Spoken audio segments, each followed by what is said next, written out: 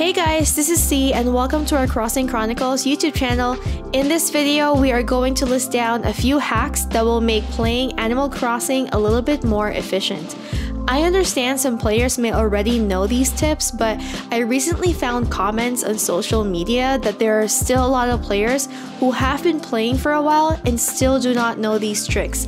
So if you have more hacks to share that improves gameplay that I wasn't able to cover in this video, please comment those below. We'd love to know. Alright, let's get into it.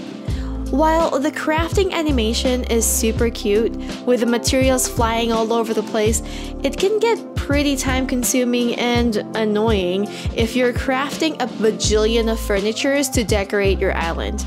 So, to speed the animation up, tap A twice while crafting and it will be done faster.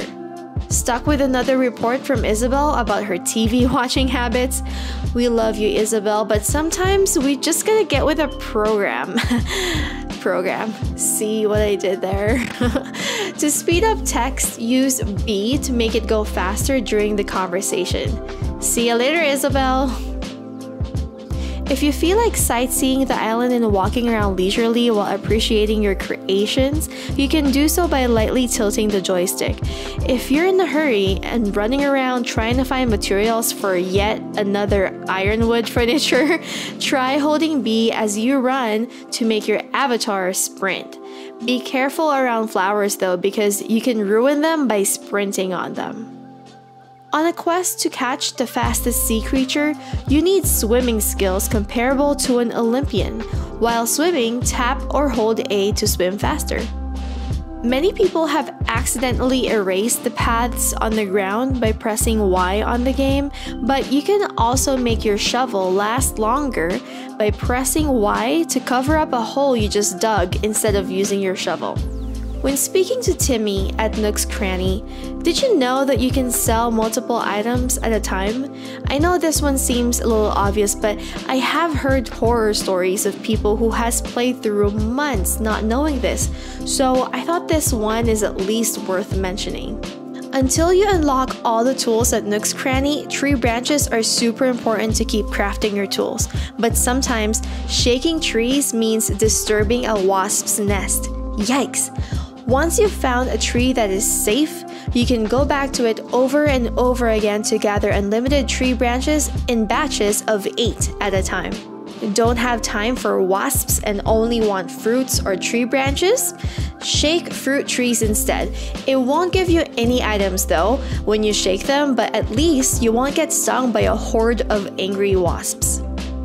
If you do encounter wasps, there are a few things you can do to defend yourself. Sprint away by holding B, then open your tool ring. This creates distance and time for you to go get your net. The wasp will hold their position while your tool ring is open. Get ready to cast your net on their direction when you close your tool ring. A second way is that instead of the net, put some party poppers on your tool ring. So it's the same as the first method, you go run away by holding B and open your tool ring, but instead of a net, you put out a party popper and you pop that party popper towards the wasps and they will all disperse and run away. The third way is to run into a building. So the easiest for me is to run into the museum because it doesn't require me to press A to enter, but whatever nearest house will also work. Just run inside the house when you're being chased by angry wasps. I personally find Blathers adorable as I relate so much to his endless um, blather whenever he is talking about things he likes, but sometimes we're just too busy or have heard this presentation before and just wants our fossils assessed. To make the conversation shorter, have multiple fossils assessed and creatures donated.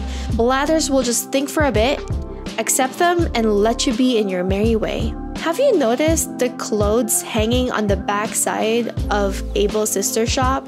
If you ever designed a custom clothing, you can actually hang those there for display, but this also allows villagers to wear your designs. But what if you're not fond of designing in game? You can also have a designer friend visit your island and have them post their own designs in your shop. The diving capability was one of the first few abilities featured in Animal Crossing updates.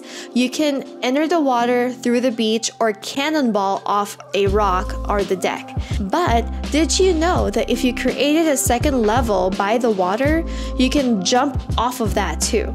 Your character will do a cute little tumble as they jump off the second level, making diving more fun.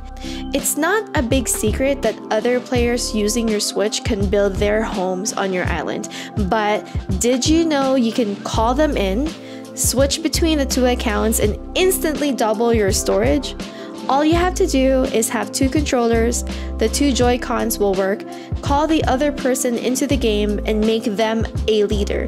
They can now access their storage and drop their items for you, and then you can switch back to yourself as the leader again and pick up those items make sure that you're the leader again be before picking up those items because if you are not the leader and you pick up those items, it will not end up in your inventory. It will end up in the recycling bin on the residential services. So if you ever do this and you freak out because all the stuffs that you picked up kind of disappeared, don't worry, just go to the recycling bin on the residential services and you will find them. Alright, how many of the 13 hacks did you already know before watching the video?